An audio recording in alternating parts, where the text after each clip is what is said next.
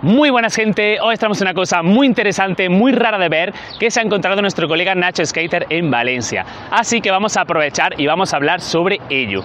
Eh, sería la mutación escalariforme, ¿vale? Fenómeno escalariforme o alguno lo podéis conocer como concha escalariforme. Y básicamente sería la deformación de la cual la concha, ¿vale? El caparazón del caracol, digamos, tiene una forma más atípicamente larga o alta de lo normal. Igualmente voy a buscar un sitio por aquí, me voy a acomodar y os voy a ir explicando mientras os pongo imágenes de este precioso ejemplar. Como podemos ver, las espirales de la concha no están bien enrolladas, no están como deberían. Básicamente lo que están es estiradas a lo largo del eje longitudinal y se van separando entre sí. De ahí el nombre de escala, ¿vale? De escalaris, de escalariforme, da igual, escalera, básicamente para que se entienda rápido. Y bueno, es una cosa que la podemos definir también como que no tendrían suturación, ¿vale? Entre estas espirales, no estarían bien agarradas entre cada espiral.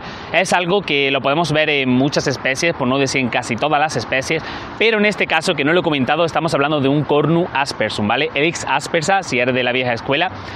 Y bueno, lógicamente no es igual en todas las especies porque hay especies que directamente ya de fábrica, por morfología de la especie, son ya largas, están estiradas en sí. Pero bueno, es algo de verdad realmente raro de encontrar. Podéis intentar buscarlo porque de verdad es una cosa como el típico trébol de cuatro hojas. Además, es algo que actualmente necesita un estudio específico, ¿vale? Un estudio genético mucho más concluyente porque lo que hay hasta ahora es un poco contradictorio, ¿vale? Por un lado, eh, afirman que básicamente viene siendo una alteración de lo que viene siendo la sutura por motivos externos, vamos a llamarlo, y otros como una mutación genética, ¿vale? Como consecuencia de que el manto y el saco visceral del animal no crecen muy desarrollados, sino que lo que es estirarse.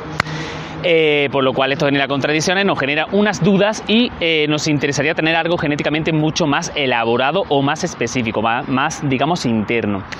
Y bueno, otra cosa muy interesante es que la primera persona o la primera publicación respecto a la reproducción de este fenómeno eh, fue un polaco que no sé si es bohemoslovaca, no me acuerdo. Voy a buscar la publicación porque la leí hace mucho tiempo y os la voy a poner en la descripción, ¿vale? Que estaría muy interesante. Y nada, muchísimas gracias Nacho por darme esta oportunidad porque ya os digo, yo a lo mejor me puedo morir y no encontrar ningún caracol de este tipo o encontrarme la concha ya muerta, el animal muerto, ya vacío, seco y no sería lo mismo.